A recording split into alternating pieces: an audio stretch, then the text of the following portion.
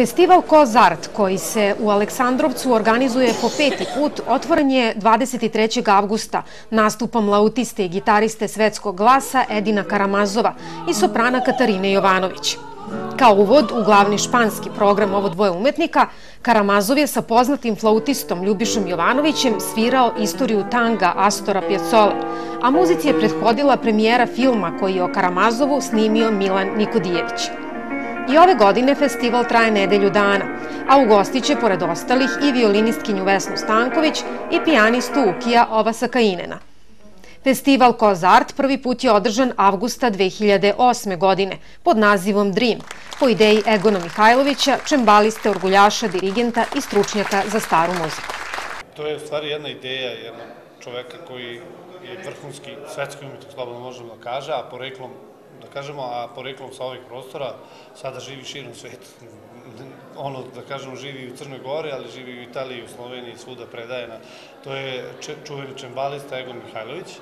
Dakle, čovjek sa ovih prostora koga mi nismo poznavali, znači pre 6-7 godina smo čuli u stvari za ideju nekog umetnika koji je često dolazi ovde, da prosto krene neka priča, to je za održavanje festivala na srednjevekovnom gradu Kozniku, Čuši za tu priču, mi smo se zainteresovali ovde nas, grupa nas, ljudi koji smo se vratili posle studija da živimo ovde, koji smo, nas desetak, dakle, koji smo od detinjstva ovde, ovaj, kažem, se družili i ovaj, slučajno, naravno, kao što to uvek živog na mesti, slučajno smo se i sreli sa tim gospodinom Egonom, onda nam je on ispričao svoju ideju, naravno nije bilo realno da se sam festival održava na Kozniku, ali je bilo realno da se održava u Aleksandrovcu. Tako da smo osnovali udruženje građana, animirali naše, pre svega, ljude, privatnike naše koji rade u Beogradu uglavnom. Oni su na, i, na, i na naše iznenađenje, verujte mi, mi smo sami bili malo skeptični po pitanju svega, međutim, na naše iznenađenje mi smo uspeli da skupimo budžet za prvi festival.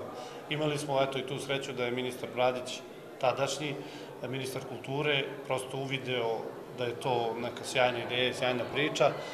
Pomogao je ministarstvo finansijski koliko je moglo u tom trenutku, ali nama je i to bilo sasvim dovoljno.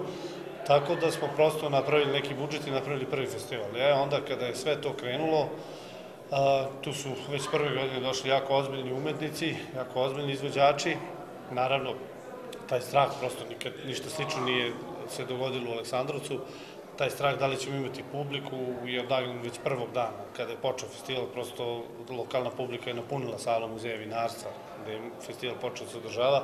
Sada se mnogi koncerti održavaju u Domu kulture, jer je ova sala koja prima 130 ljudi premala da primi prošto sve one koji, koji žele da vide koncerte.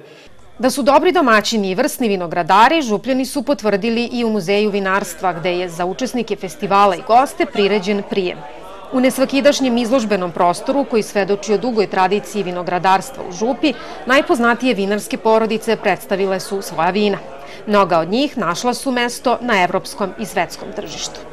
Da kažemo i to da poseban pečat Kozart festivalu daju i neobični prostori u kojima se neki programi održavaju, a to su Muzej vinarstva i vinogradarstva, etnoselo Latkovac, Župsko vinogorje. Neki od dosadašnjih učesnika festivala su i gudači Svetog Đorđa, violinisti Nemanja Radulović i Goran Trajković, pijanistkinje Meri Bojić-Radojčić i Jasna Tucović. Festival Kozart održava se pod pokroviteljstvom Ministarstva kulture i opštine Aleksandrovac.